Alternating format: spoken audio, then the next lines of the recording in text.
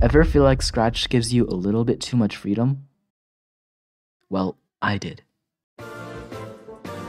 So that's why in this video, I will be creating a game in Scratch, but I can only use Scratch Team's tutorials. Will I be able to complete this challenge, or will I fail completely? Stick to the end to see what will happen.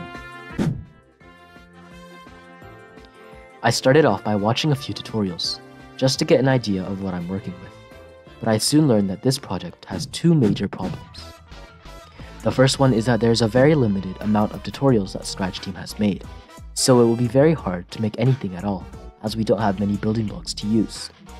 The second problem is that Scratch Team makes only low-level tutorials. That means that I can't make anything complex, which completely ruins everything for me. And although these two problems weren't apparent from the beginning, they almost destroyed this project later on.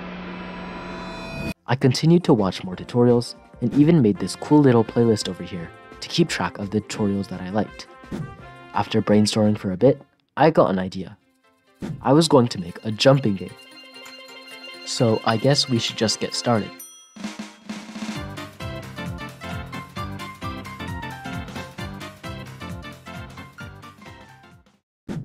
There we go, I have finished watching this video. It was actually really good. I will be putting a link to it in the description if you are interested. Although there are a few bugs, I think that it's a pretty good beginner's tutorial. So basically, you need to jump over these cars in an alley, and every time that you land on the ground, you get a point. Also, is it just me, or does this cat look like a cool kid? I then started toy around with things like the car's speed and the cat's jumping height, as I felt the game was a bit too difficult. After getting all that down, I was stumped.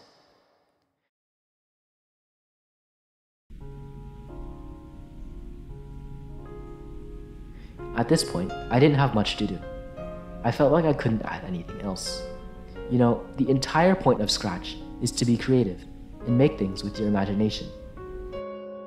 But with this project, I didn't do any of that. I just sat around copying other people's work. I got pretty frustrated and didn't know what to do next. Maybe I should just quit this project. Maybe I shouldn't have wasted my time, I thought and for the next week or so, no progress was made. I just sat down and did other things, like making new videos. But the idea of making a game with only Scratch Team tutorials was always just floating around my head. I mean, I already devoted a lot of time into this project, so why not give it another chance? I guess that means I need to start brainstorming again. So I sat down and resumed progress and soon I had a few ideas. Try to guess which ones I implemented. Add a scrolling background, create a storyline, add new art, add a clicker game, add more movement, or make a mouse trail, because that sounds cool. Okay, now that I've given you some time, let me reveal the answer. I added everything, because I'm cool.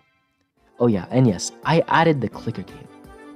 I mean, actually, not really. I only added the clicking mechanism, but the only reason I was allowed to add that was because of the clicker game tutorial, so I guess I kind of added a clicker game. Anyways, I started by making the scrolling background and the mouse trail, and nothing interesting really happened.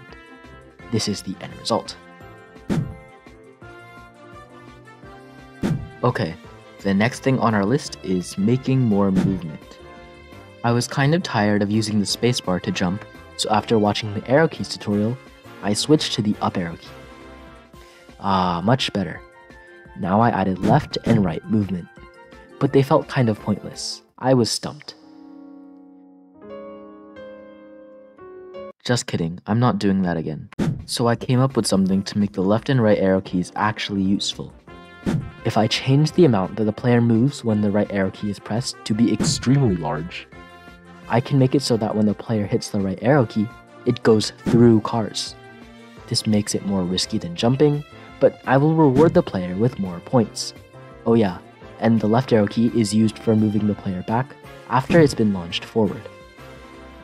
I coded everything in, and look at the game now.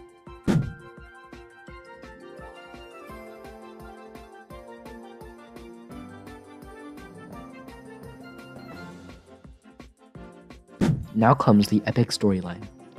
I followed this tutorial and ended up making a masterpiece. But I think that it'd be funny if I didn't show you, so now you have to stick around to the end of the video to see it. Okay, this next part has gotta be my favorite. I added music, just take a listen.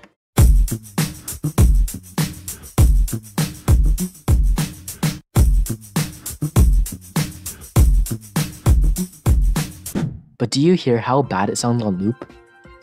Well, since I have such a big brain, I found a solution. I just cropped the music until it sounded right. Now comes the final part of this project. I turn this cat from a weakling into a cool kid.